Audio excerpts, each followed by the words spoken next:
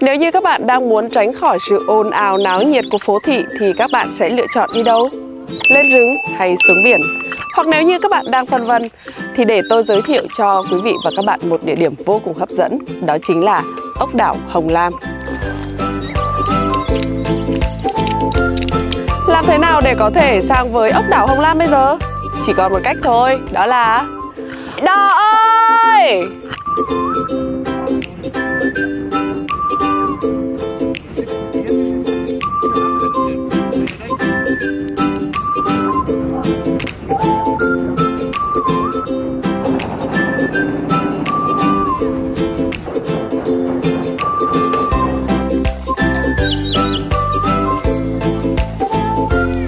Lần đầu tiên con đến với uh, thôn Hồng Lam và bác có thể giới thiệu cho con được biết về uh, mảnh đất này được không ạ? Ở đây là thôn Hồng Lam, xã Xuân Giang, huyện Nghi Xuân, tỉnh Hà Tĩnh. Ở đây còn là một địa phận tách biệt bởi vì bốn bề là sông nước, cho nên đây có gọi là ốc đảo. Thôn Hồng Lam có thì diện tích là 145 hecta. Nó có trước đấy thì rất là đông, trên 350 hộ. Nhưng mà do cái thời gian kiểu lũ lụt á, thì bà con cũng có một số là đi xây dựng ở vùng kinh tế mới, cho nên ở thôn đây thì bây giờ cũng chỉ còn hơn 150 hộ thôi. À, nghề nghiệp chủ cột là sản xuất nông nghiệp. Vâng ạ, vậy thì bây giờ bác có thể dẫn cháu đi tham quan một vòng được không ạ? Vâng, được. Xin mời cháu đi, chúng ta cùng đi.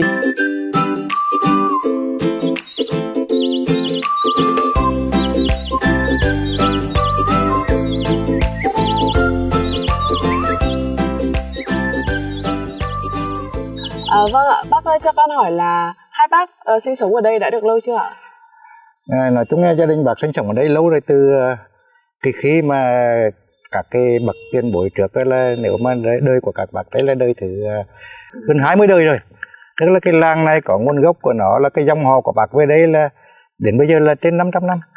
Thì con dân ở đây thì người ta sống rất là bình yên vì nó cũng do cái đặc điểm của cái đảo. Cuộc sống người dân ở đây thì nó cũng nhàn thôi chứ không đến ngồi vất vả lắm. Một năm người ta chỉ làm có hai vụ thôi. Một cái vụ trồng lạc rồi trong cái cỏ dịch chiếu bây giờ người ta đang trồng ngoài đó.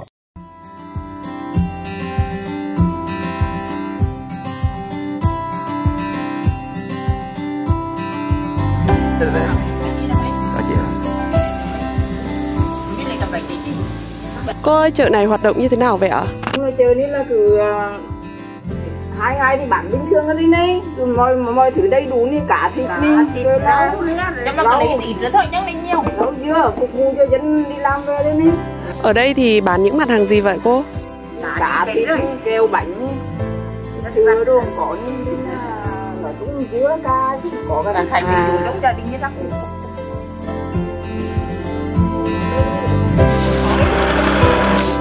chè cội chè chè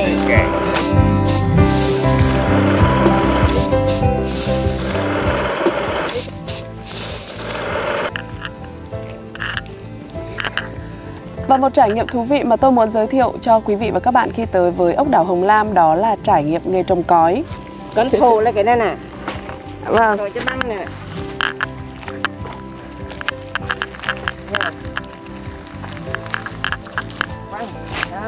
À,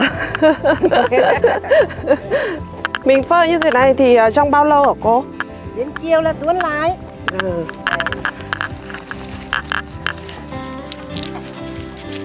Làm cõi thì xa xưa rồi.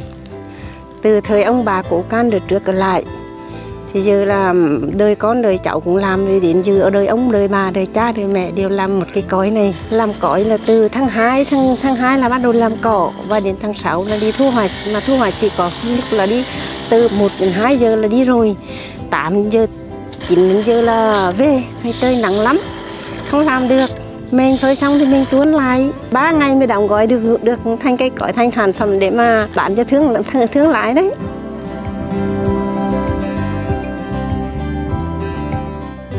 Sau khi được trải nghiệm với nghề làm cói thì tôi đã cảm thấy mệt và muốn nghỉ ngơi. Chính vì vậy mà điểm cuối trong hành trình này tôi muốn giới thiệu đến cho quý vị và các bạn đó chính là khu cắm trại Hồng Lam Camping.